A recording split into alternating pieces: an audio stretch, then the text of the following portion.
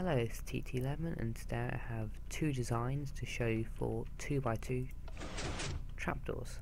Uh, this is design number one and this is design number two. They're very similar but the designs of the actual wirings are a bit different. This is the first one, this is a response to Puzzle MC I think his name is who recently made a trapdoor and it was the same dimensions as this but it came one out of this side so this is just me compacting what he'd done. I used a pretty clever trick here to get it to be all the pistons at the right timing so I get an input from this line here and that goes through these repeaters so it's equal on both sides and into here so first of all we're going to get a power one tick going through there into this block which will power this when it comes out. And also a one tick from that going through into this block which powers all these pistons because this powers that which powers that which allows this piston to be powered diagonally from there. And also through here so this block here and that block there have the um, same delay going into them. So it retract the same.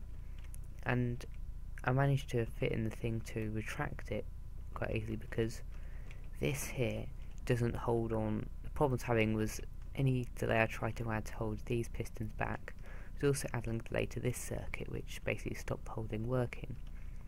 So by having this um, repeater on 3 up here it allows the two ticks for those repeaters these pistons here to drop their blocks down and then retract them.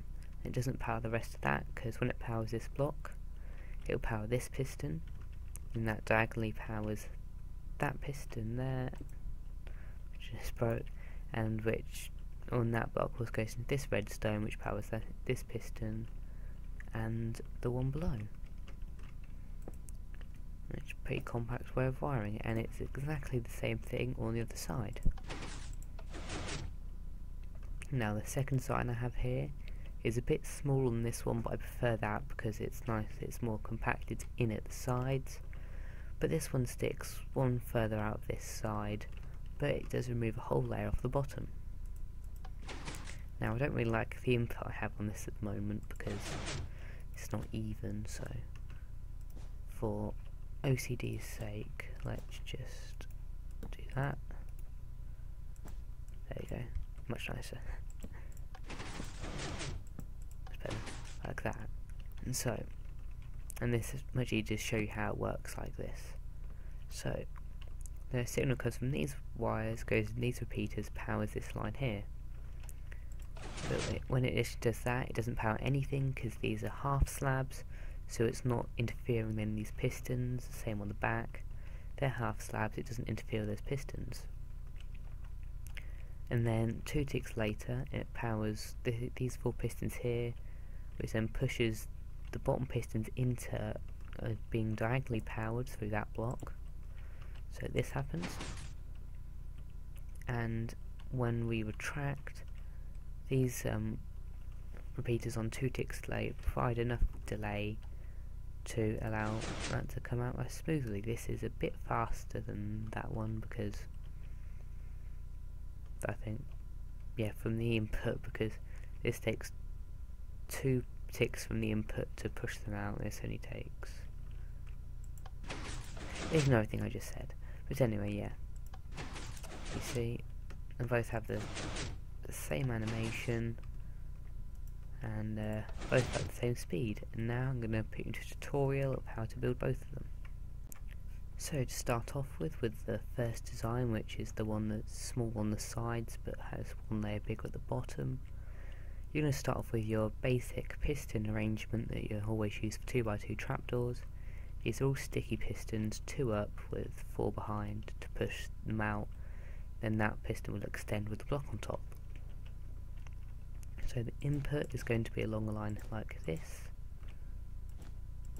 And then you can have a repeater on each end, level with the four pistons, wire along like that, these are going to go into a block. I'll just put it on this side and then we can mirror it on that side later.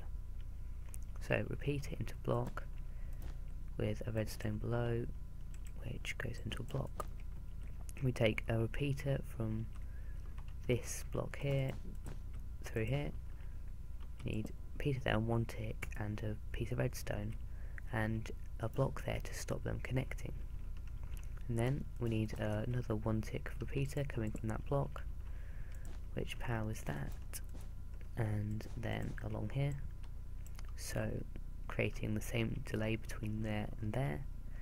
And then also redstone block and another one there to block the signal which will make these pistons extend. And then your repeater on 3 ticks delay to pull them back at the end. And that's going to be exactly the same with the side. So repeater to block onto a piece of redstone into a block with repeaters on one tick coming out of each side of it.